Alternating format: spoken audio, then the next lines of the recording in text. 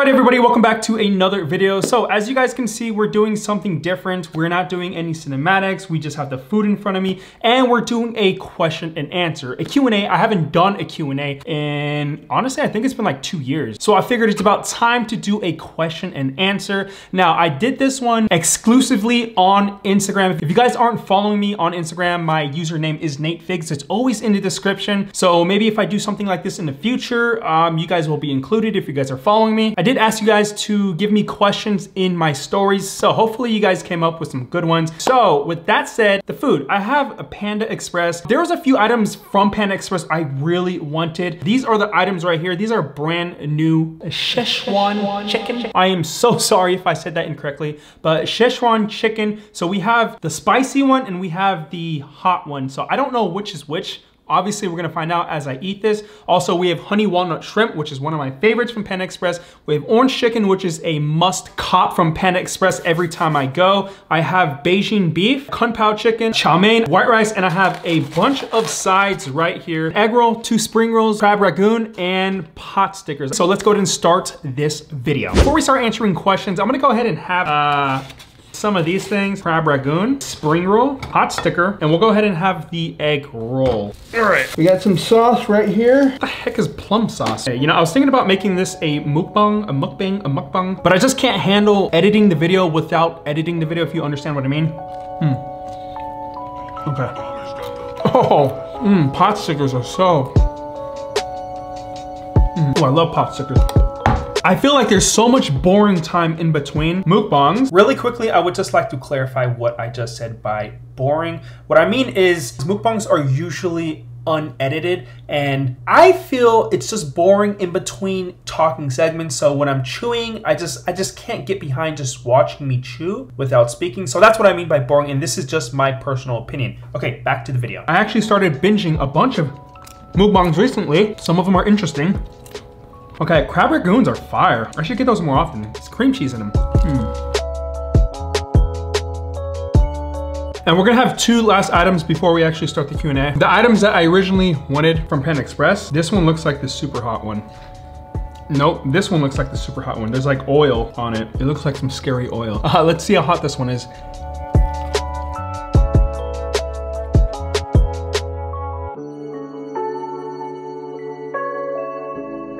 This one's definitely not hot, but I like the flavor. Flavor is very good. Number two, this has to be the hot one because that had no spice whatsoever to it.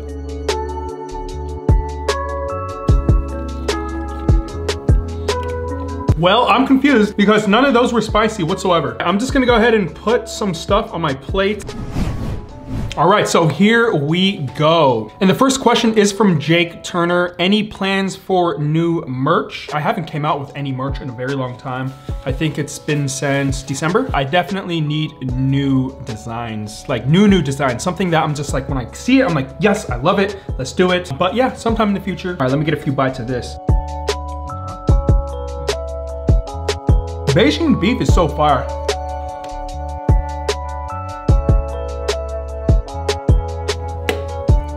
Next question is from Addison Barger. Do you ever binge eat? I would say that I don't binge eat. Ever since I really started doing food challenges and cheat days and just food related videos, I don't really have much of an appetite on other days. I pretty, I eat pretty controlled. Usually I'll eat in a caloric deficit. I, I wouldn't say I binge. Even on my cheat days, I don't call that binging. I'm eating pretty controlled, as crazy as that sounds. Hope that answered the question. Okay, I'm just gonna finish this one real quick.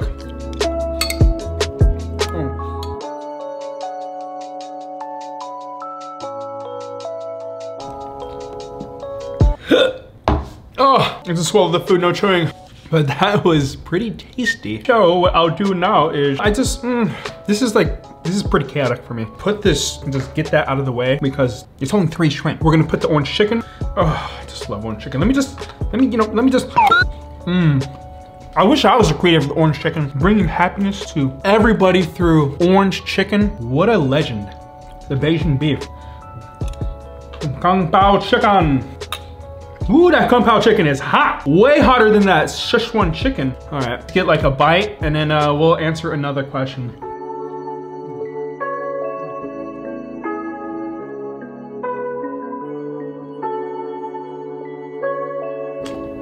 Next question is from Bile Majavana. I know I am just butchering your name. Where do your parents live and do you see them often? Um, parents live in Utah, St. George. Well, not technically, they don't live in St. George. They live like an hour away from St. George, but they live in Utah in Mormon country. I'm sorry if I'm not trying to offend anybody, but where they live is Mormon country. And my dad is a Spanish pastor there. And as far as me visiting them, uh, the last time I visited him was when my grandma was staying there, which was in February, I think. Um, I went there to visit my grandmother because that's who was taking care of her at the time. However, I do plan to visit my parents pretty soon. And uh, let me take out some of this stuff right here. We're gonna go ahead and just munch on this beautiful succulent honey walnut shrimp. Oh. Mm. Oh.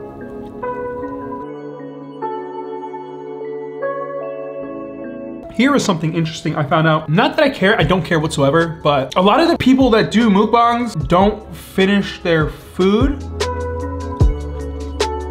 I don't think there's anything wrong with that. I see the thumbnail, I click the thumbnail, it's like a massive amount of food all over the table, but they eat like maybe a few bites of it, and then it's just story time. Now, I, I don't, I'm not a mukbang expert. That's just what I observed. Maybe because I do like food challenges and cheat days and all that stuff and I eat all of it or I attempt to eat all of it. I feel like I have to eat everything, but not everybody doesn't finish it. A lot of people do finish their mukbangs. I just, I was just giving my food for thought.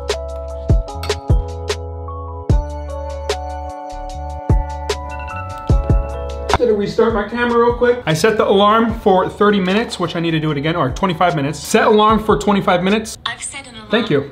25 minutes went by that quickly. Let's move on to the next question. Mapo Fem asks, will Olivia eventually move to the US or you eventually move to Germany? Good question because I don't think I've ever answered that question. At least I don't think so. Olivia will be moving to here. She will be here for good. Well, fingers crossed. She'll be here for good in September. Double fingers crossed. Reese's, cross your fingers. I don't have fingers, I have paws. Paws are crossed right now. To answer your question, uh, she will be moving here. All right, uh, what are we gonna do next? Put this rice right here. You know what I'll say about this rice is the white rice isn't that good today. You know, I know it's white rice and white rice is pretty plain, but for white rice, it's not that good. It's not that good. It's not. I'm gonna dump this. Mmm, oh yeah. Sexy. We'll go ahead and dump this. Ooh. This bad girl right here, this pepper is very, very dangerous. I've eaten this pepper on accident. I didn't know you're not supposed to eat this. I mean, I don't think you're supposed to eat it. My mouth was on fire. So I will not be eating this. Boom. We're gonna go ahead and put this chicken, the Szechuan chicken, right here. We have a question from my buddy and fellow competitive eater, Wayne Wonder, Wayne Aljahino. Uh, and his question is why you don't talk in the group chat anymore. Look, if you're watching this, I'm sorry. It's not that I don't love you and love you guys. I love all you guys equally. Well, I love you more. It's a competitive eating chat room, by the way, you guys. I don't really get on Facebook much anymore. I only go on Facebook just to post my videos. I don't know, I just don't want to be consumed by so much social media. I'm already consumed by Instagram. I'm consumed by YouTube. I feel like I don't need to be consumed by Facebook too. I do pop in every once in a while and say hi. Let's do one more question. Next question from Bro Nagmukt. Will you ever come to Northern Ireland? We have the best burrito place ever. Boojum! Most definitely, we will be there. I don't know when, but I do plan to travel the entire world soon. All right, let me just go ahead and uh, get a few bites really quick like.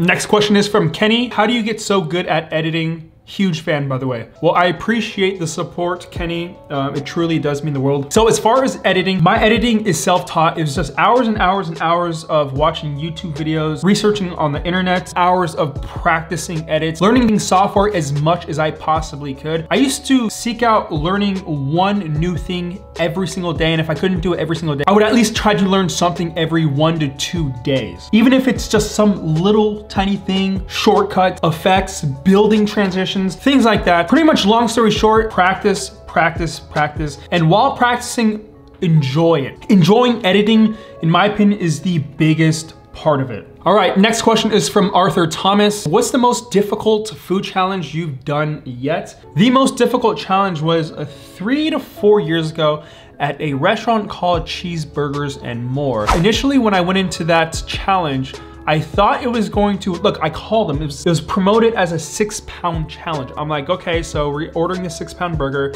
They asked me how many toppings I wanted on it. I said, just go ahead and throw everything you have on it because I'm like six pounds, maybe it'll equate to like eight pounds or something. When they brought out the burger, I didn't know it came with fries either. So I was very unaware of that. But when they brought out the burger, the burger had so much stuff on it. I wanna say it was around 11 pounds altogether. The reason why that was very hard is because I was not as prepared as I thought I was. I was going in there thinking it was gonna be a six pound challenge altogether. So since I wasn't prepared for that, um, it hurt very, very bad that night. I could not sleep one bit. I rolled in bed all night. I was sweating, the worst feeling ever. Even though I've done bigger challenges than that, it was the most difficult because of how unprepared I was. All right, so let's go ahead and destroy this one real quick.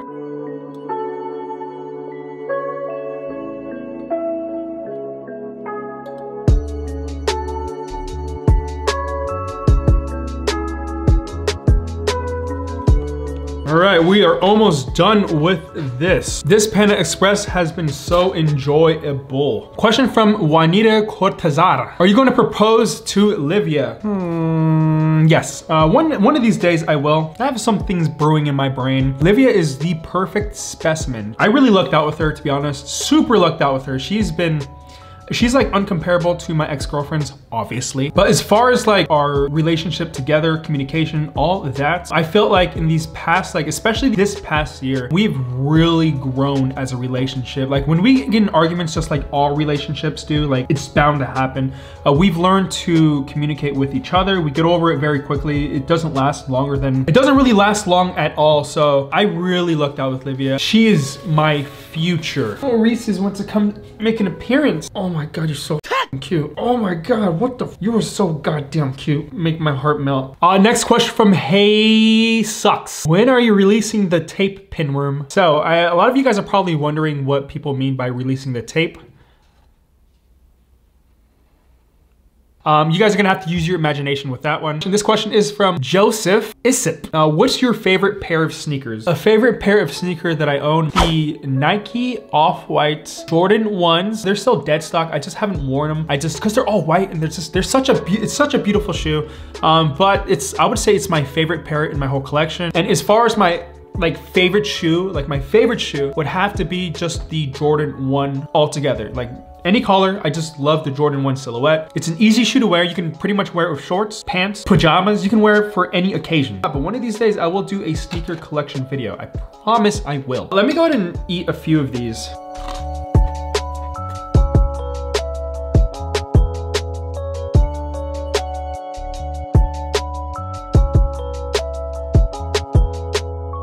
All right, had to restart the camera once again. They had to have given me the same chicken in both containers because there's no way that one of these is spicier than the other. They can't trick me into thinking that one of these were hotter than the other. They taste exactly the same. There's no spice whatsoever.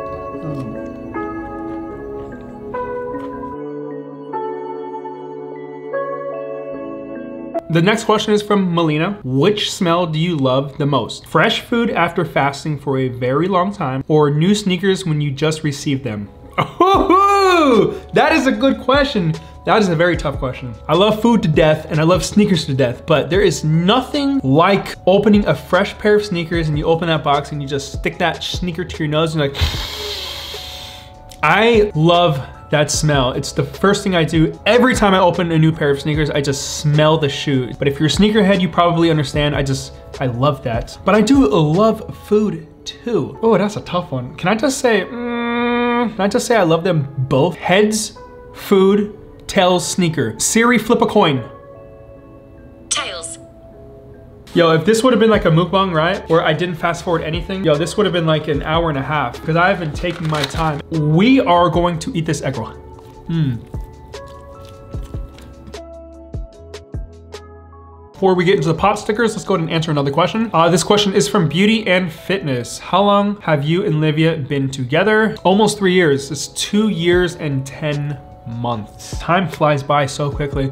It's been two years since I've been with Livia. That's crazy to think about. What the heck? Time flies. Oh my goodness. Sometimes like in life, take your time in life. You know, if you're doing certain things, don't rush it. If you're in school, don't rush it. Enjoy the time that you have here now because before you know it, you're gonna be 30, you're gonna be 40, you're gonna be 50, you're gonna be 60, you're gonna be 70, 80, 90, and then eventually you're gonna pass away. So in life, just enjoy the time you have, you know? Even though sometimes you go through rough patches, just try to think of all the positive things in your life. If you have your health, if you have a roof on your head, if you're if you have food in your stomach, um, that's something to be thankful for. Motivation Nate. Hey, taste Dell already.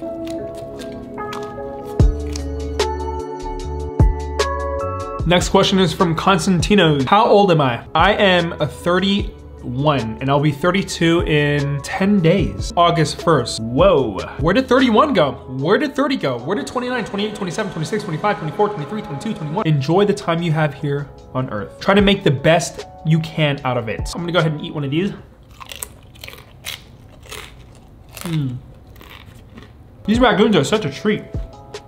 This question is from Tori. What did you do before YouTube? Well, so there's a few different things that I did here. One, um, I used to drive building material around to local businesses and I would just pretty much drop off the inventory. That was one of my jobs. Another job that I had that I, this is the first time I've ever said it on this channel is, and the reason why I, I never said it on the channel is because I, I don't know why, but I was embarrassed for some stupid reason. I don't know why, but I cared what people think about. I don't care what people think about me anymore, um, but I did at one point, and I'm sure most people um, do for the most part. Uh, but I used to uh, be a delivery driver for a Chinese restaurant right down the road from here. Some days I would make just $20. On good, like really good days, maybe like $80 a day, but that was very rare. Anyways, I don't know why I would be, it's so stupid. Like why would I be embarrassed for some shit like that? That's not the way to live life.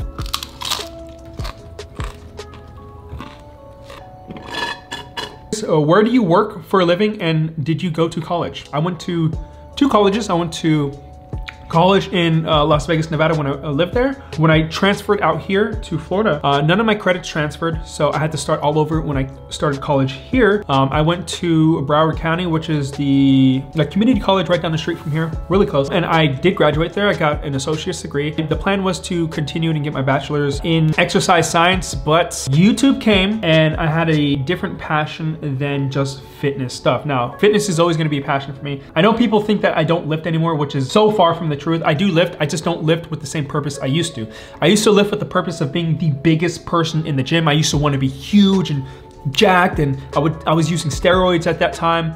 Um, I still have some muscle. I just have natural muscle now. I'm, I'm not on steroids. I haven't been on steroids for years now. And a lot of people like to compare me then to now and think that I don't even lift when lifting is a huge part of my life. I just went far into a different way. We're talking about college. Pretty much I changed passions. I did graduate college here. I decided to not go to Florida Atlantic University, which is the um, university closest to me, and decided to try this YouTube thing and learn this filming stuff. So I went to a different direction, videography, um, editing, things like that. And what I do for a living. So right now at this moment, I am a freelance videographer. I am a one-man team. So I um, do the shooting and I do the editing and also I do YouTube. I think that answers the question. Wow, that was a long answer, wasn't it? I'm sorry about that. So sorry about that. Last question, and then we're gonna wrap it up because I am all out of food and this video has been way entirely too long. And the question is, is YouTube your only source of income? Which I just answered that question for you.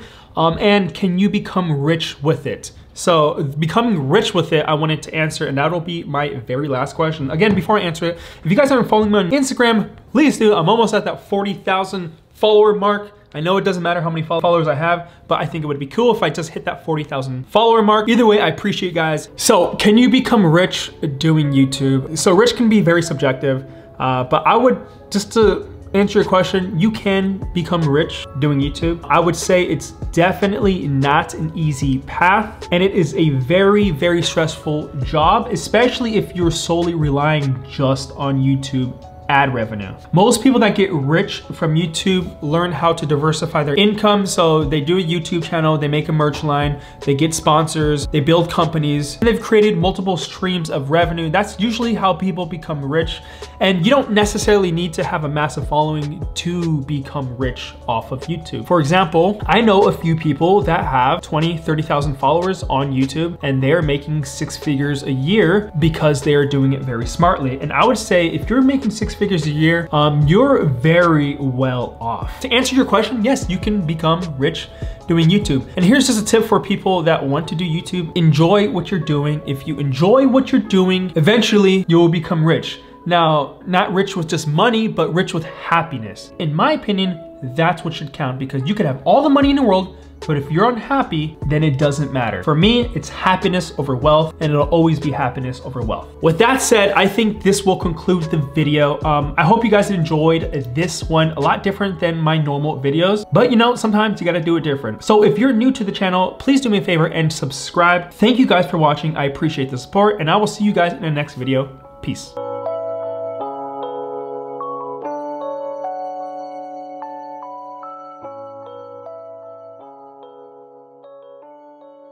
My god, you're so fucking cute. Oh my god, what the fuck? You were so goddamn fucking cute. Oh, you just, you just